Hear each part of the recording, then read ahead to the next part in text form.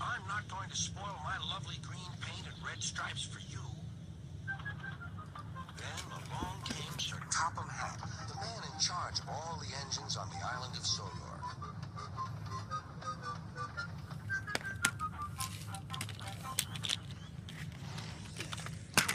you out, said Sir Topham Hatt. But Henry only blew steam.